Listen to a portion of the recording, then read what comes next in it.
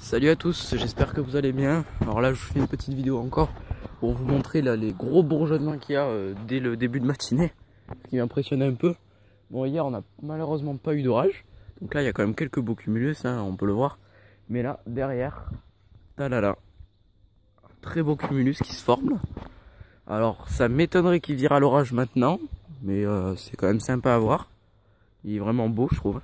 Je sais pas pour vous, vous pouvez me le dire en commentaire, comment vous le trouvez. En tout cas, moi, là, il devrait, il devrait donner une averse. Peut-être pas un orage, mais une averse.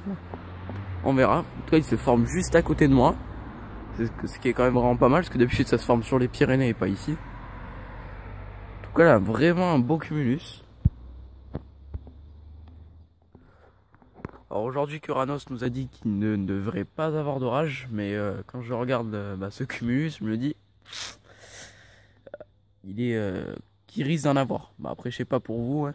En tout cas, on le voit vraiment bien grossir.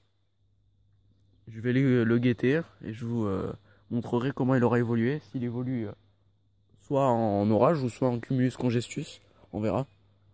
En tout cas, euh, sinon le reste, ils sont pas. Bah, c'est des cumulus. Hein. C'est pas encore ouf. En tout cas, pour moi, celui de derrière, là, il est, il est, bien parti. Sur les Pyrénées, bah, c'est plus des minuscules cumulus. Tandis que chez nous, bah, là, j'ai l'impression que ça s'est inversé. D'habitude, c'est nous les mini cumulus, et du côté des Pyrénées, c'est déjà des gros bourgeonnements à cette heure-là.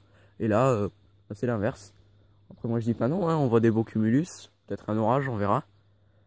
Donc, je vous tiendrai au courant. Je vais vous laisser sur euh, ce beau cumulus et je vous souhaite une très bonne journée.